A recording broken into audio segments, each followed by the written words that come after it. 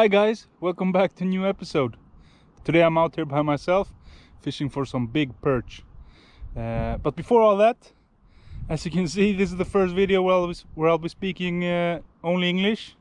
The plan is to speak English during the videos where I film by myself, and then during the videos where I fish with my friends, I'll be speaking Swedish, but I'll be adding uh, English subtitles. Just so you know, uh, the plan is to reach a larger audience. Uh, let's see if this works out. Uh, if it doesn't, we'll go back to speaking Swedish. Hopefully, it works out. So, today we're out here fishing for some big perch. We have a couple of spots we're going to try out. I'm going to spend about an hour here. Uh, the sun just rose. Uh, it will be a beautiful day or a beautiful morning at least. Let's go. Okay, we'll start off with a smaller rod. It's a medium heavy rod casting weight up to 35 grams or one and a quarter ounces. I think I should start off with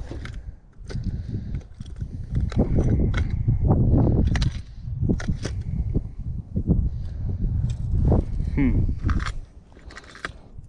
We'll start off with this one. Uh, I don't know if you can see that well. It's a blade bait green color now blade baits, even though they may, might not look uh, like much, they give off crazy vibrations in the water. It's a great way to search for fish. Just to see if you have any fish around, you know? Or if they're active. Now, if they're not active, you won't get a strike on this one because it's a bit aggressive. However, if they are active, you can have some you can have some great fishing.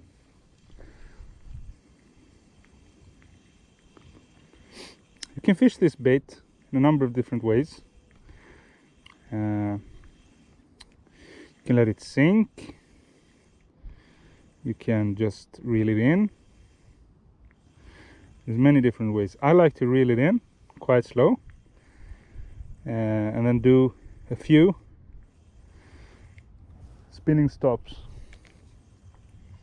Or reel stops I don't know what you want to call them in English.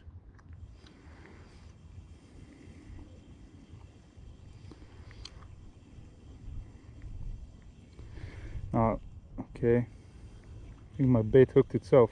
It felt weird when I was reeling it in yeah there we go. Okay, let's try one more time. As you can see, it's a glaring sun today. Uh, still quite cold though. However, I think the water temperature is quite high or quite warm. Therefore, I won't be fishing for pike today since I know pike take can take uh, damage if you if you fish them when it's too hot outside or in the air. I think I heard a splash. Okay.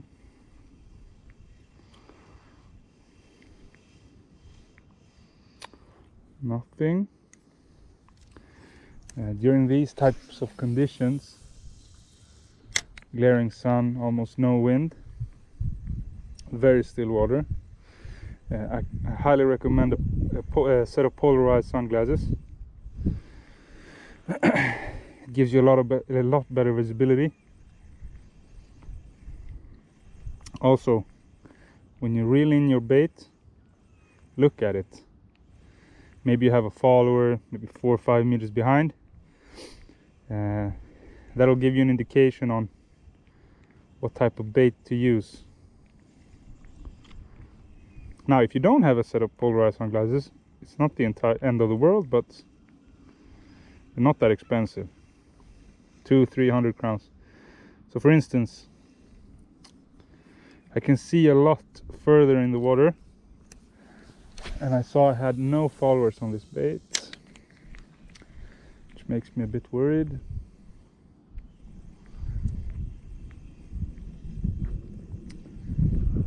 Another tip I have for you young fishermen or fishermen just starting out is before you go out and fish try and gather as much information as you can uh, about the place you're going to fish. So in my case for instance I looked up okay this lake does it require a, a fishing license? And it does which you have to pay for. It's not expensive but it does. Uh, what type of species does it hold this lake? And also right now where I'm fishing how deep is it? It's quite deep actually. I think it's out here in the in the channel of the lake or in the middle of the lake I think it's 50, goes down to 15 meters now I won't be fishing 15 meters because uh, if you fish at 15 meters the fish can get pressure sick pressure sickness. So I won't be fishing that far down maybe five six seven meters down. Maybe. But the perch should not be that deep. This is the last cast with this bait and then we'll switch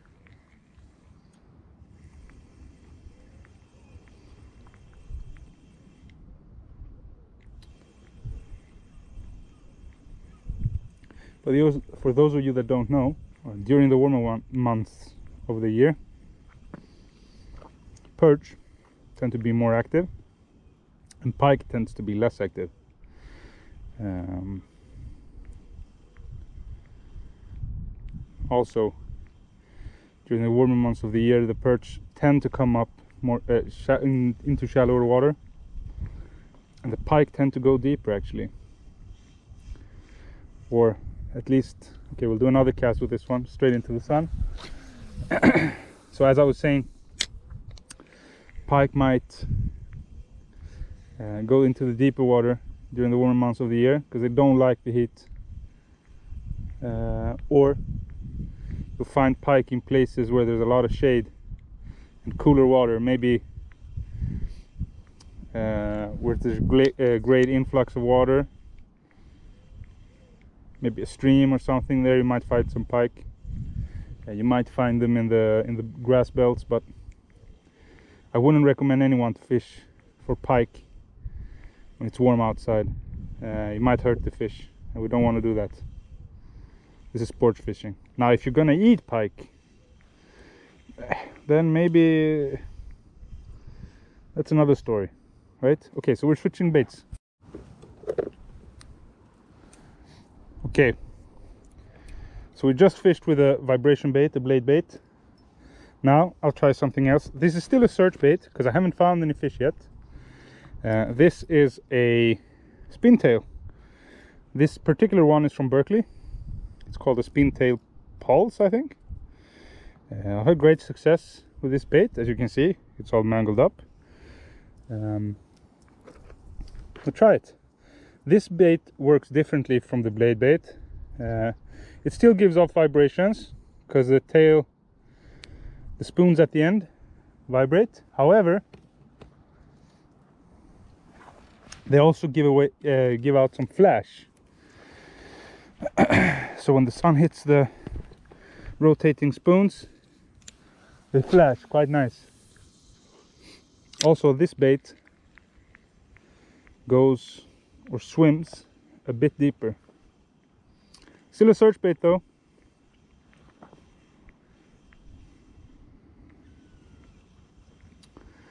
Let's see if we can find any fish. And this bait, I tend to just reel it in slowly.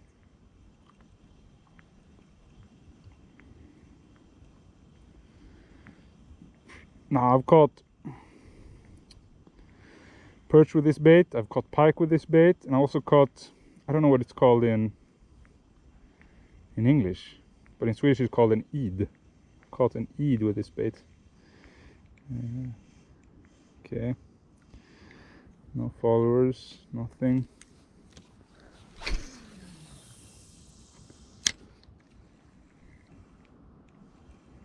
Another tip i'd like to give uh, is when you fish like this from shore. Uh, don't do what I do. I bring too many baits, too much equipment, uh, and it's heavy.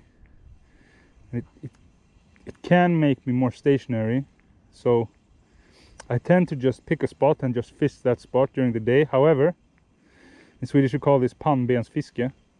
However, it's not the best way to find fish from shore. The best way to find fish from shore is pick out maybe 10 15 baits bring as little equipment as possible and move around. So fish a fish a spot hour maybe hour and a half sometimes not even sometimes 20 minutes 30 minutes and then relocate pick another spot. So when you fish from shore uh, try and be as mobile as possible. Now I never do this however if you want to get if you want to catch a lot of fish this is what you should do. Wow it's deep out here.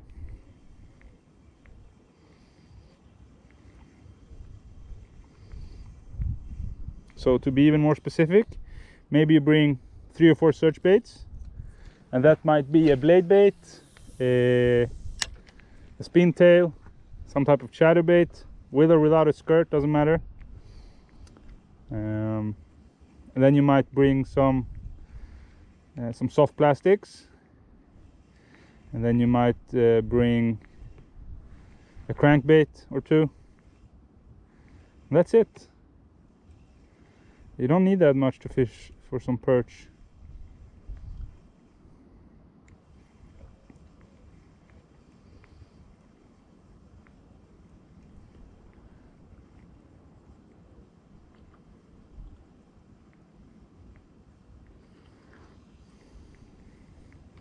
do about five or six more casts here and then then we'll actually change uh, location. Because I see nothing. And what I mean by that is I see no fish up on the surface. I see no activity under the water as deep as I can see or as far as I can see. There's nothing to indicate that there are fish here right now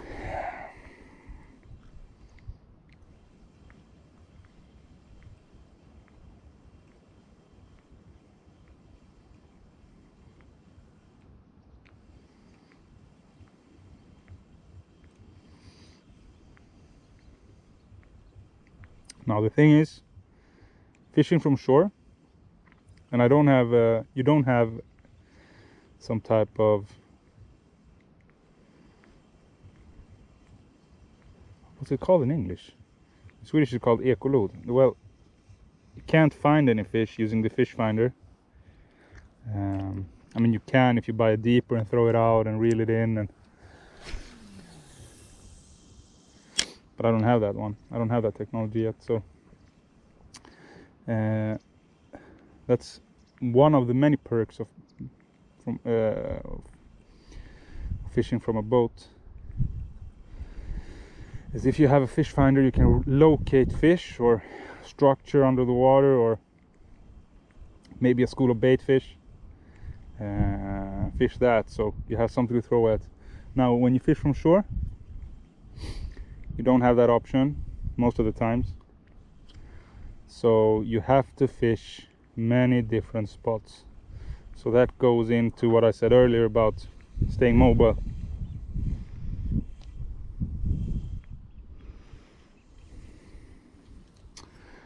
Hmm. I don't like this.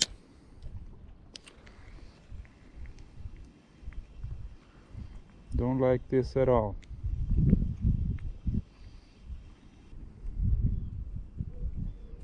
Oh, there I had a strike.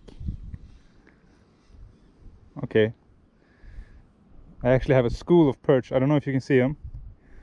There's baby 304, 250 gram perch. One actually struck my, my lure. Okay. And last cast as well. Now, since I had contact there on that throw, or in that cast, I'll spend a few more I spend a little bit more time here. We found fish, not the biggest, but we found a school of perch.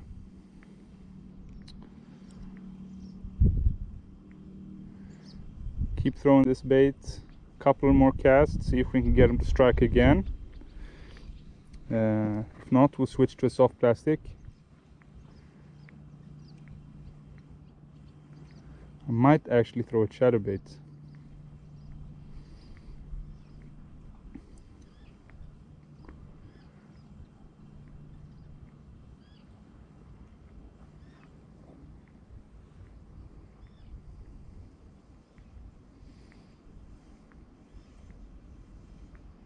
see will follow again. No they won't so this is the entire purpose of these types of baits. Uh, okay not the entire purpose i mean you can actually catch on the spin tail i've seen people catch like 10 kilogram pike. However in my opinion the the purpose of these baits are search for fish. Uh, since the baits are quite small they give off a lot of flash or a lot of vibration in the water. Um, might attract a few fish. It's the goal anyway then you switch to something else to catch the big ones. That's my opinion. Okay now I went into grass. Interesting. Okay there's a small perch. Two two actually. These are very small. These are small the smaller ones. They're, these are actually way smaller than the, uh, the two that I had the two followers I had previously okay last cast with this bait. We found two larger perch. Or yeah decent sized than two very small. I'm going to throw a chatterbait see if, I, if I can get a bigger perch to strike. Um, five maybe ten casts with the with the chatterbait and then we'll we'll move. Change my mind I'm actually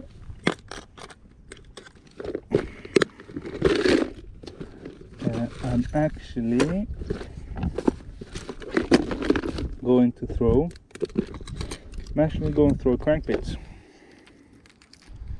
This one from Westin uh, a bass bite square bill. I think it's 17 grams 7 centimeters something like that uh, slow float or floating at least. Here's the lure. The color is official roach. My favorite Westin color. By far actually.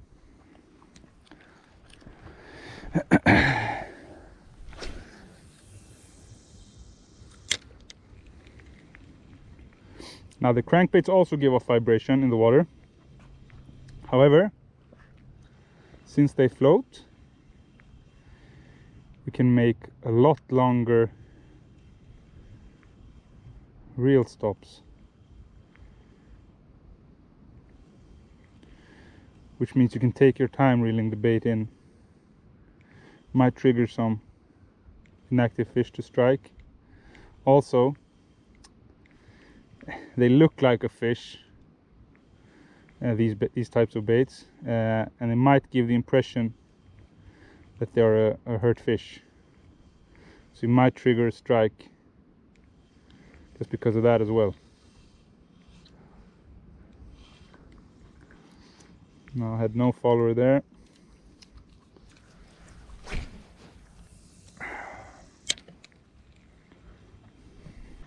I had a perch follow it they just follow the bait. Follow and poke at it. They don't really strike the bait. Now I don't know if it's too early in the day. Is it too late? Is it too hot?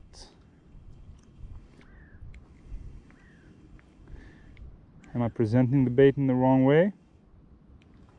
I don't know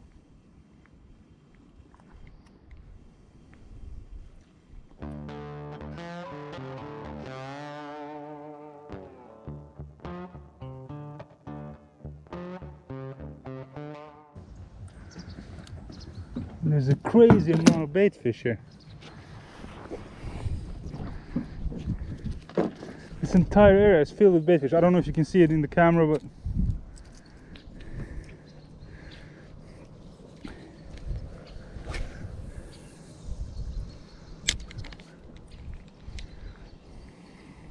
This is not the spot I had in mind. However, when you see bait fish, schools of bait fish, okay, a lot of grass here. When you see schools of bait fish like this, always throw a bait in them.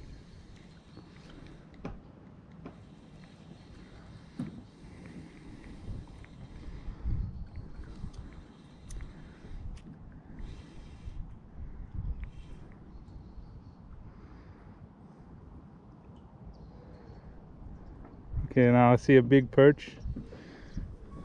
Saw my bait. Actually do this.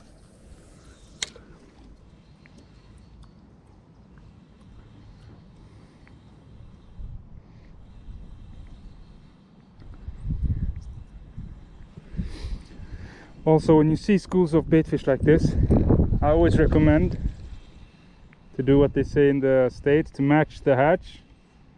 Uh, that means just try and try and match your lure the color of the bait fish.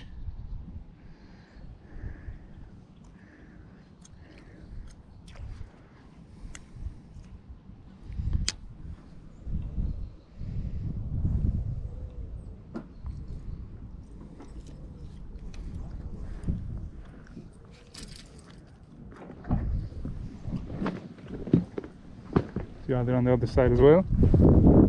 No.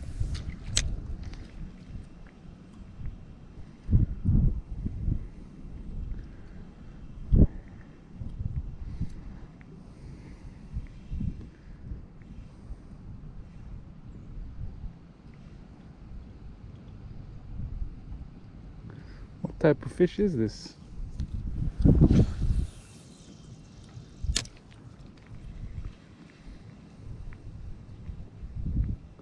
Now if I throw a spintail here, I guarantee I get a bite. There we go. This is a pike. Yes, this is a pike. Has to be a pike. If it's yeah, it's a pike.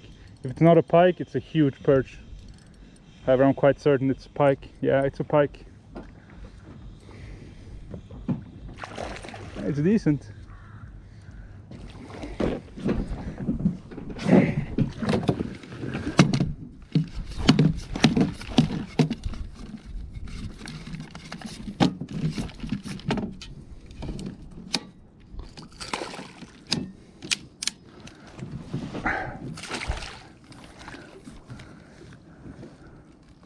There you go. Now, like I said previously, since it's hot outside, also hot in the water, I'm not fishing for pike. However, when you fish for perch, sometimes this is what happens. So that's one hook, one of the trebles out. There we go. So, uh oh, now? Go. Here's a small little pike. You see him, beautiful fish. Uh, now we'll release him. There go. Now I do not know if that proved my point. When you see a school of bait fish, always throw in the school sometimes match the hatch but sometimes doesn't matter uh, caught a pike. Didn't weigh it. Didn't take a picture of it. There's no need. It wasn't a personal best. I see some people here take pictures with all the fish. I mean you can uh, if you're quick with it. Like if you're two one nets the fish and one takes out the, the treble hooks and then you just take a quick picture and release it you can. And I do that as well sometimes. However when you're fishing by yourself net the fish so that you land it, remove the hooks with with, uh, the fish still in the net in the water, and then you can let the fish rest a bit in the net, maybe a minute max, and then you release it. Uh, this is sport fishing. We're not fishing to, to provide for our families. We're fishing because it's fun, because it's our hobby. Uh, so take care of the water, take care of the fish. Now, let's move on to the next spot. Uh, I don't know if... Welcome back, guys. We just switched spot. I don't know if you can see that dude over there, but he's living my dream. Fishing from a kayak. Yeah, I wish I could afford one. I can afford one, probably. However, I have no place to store it. Which makes me quite sad.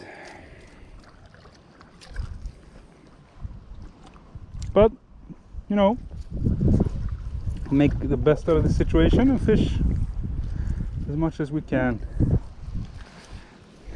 Okay, we're in a different spot. I can see right away. We have a lot of grass here. So we have to be careful. Especially when we keep throwing this crankbait to not get stuck. Because I'm not in the mood to take a swim this early in the morning.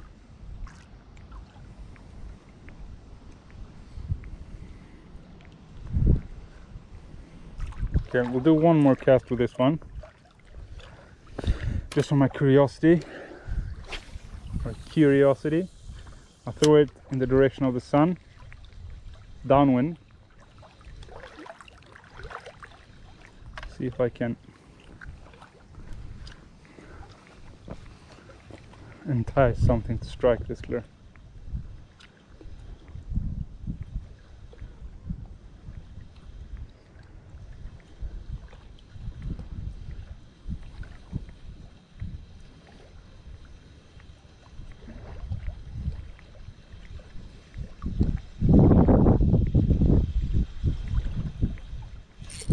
There we go. Small perch.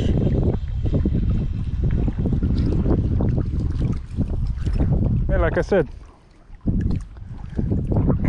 this is a small one. Um,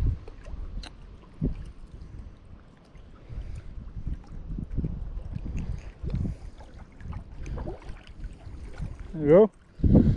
Uh, small little perch. Super cool. Uh, let him go back. Bye, little guy.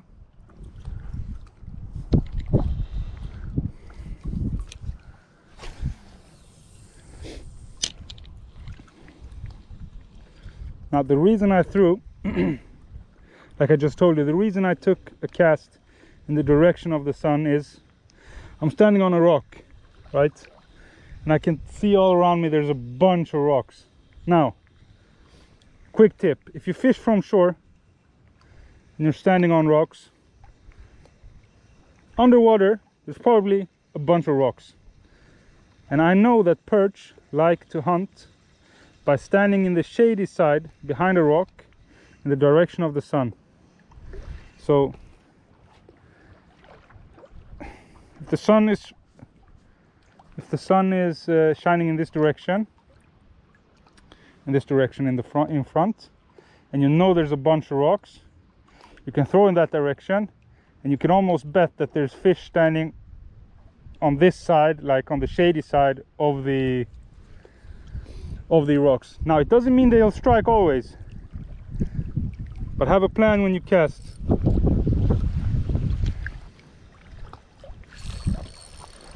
Fish Fish on!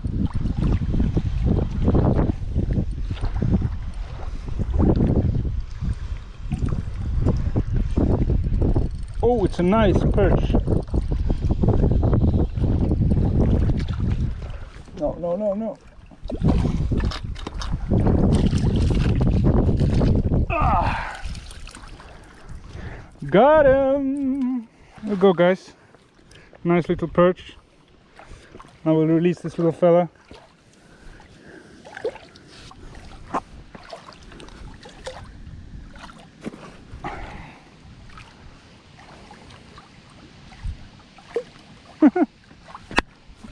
nice. We got him on the... So crazy, man. We switched back to the spin tail, the same one that we got our fir the first perch of the day on. The first small perch of the day on. We switched back to that one. Now I don't know how many casts I took, maybe two, maybe three. And there it was. Same spot as well or same direction at least like I said if you know there's rocks throw and try to catch them in the shade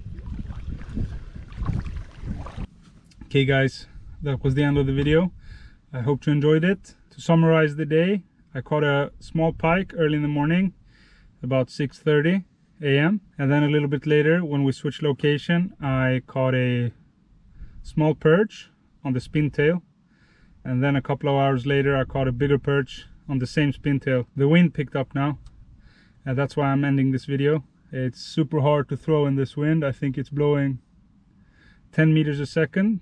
I'll be back here next week. I'm going to try different stuff. I might fish no I'm, i was thinking about fishing, fishing some pike, but it's still too warm, I think. We'll wait until the fall, maybe September, October.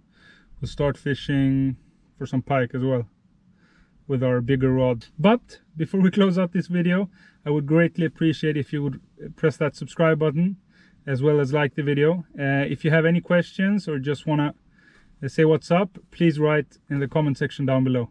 Take care. Until next time.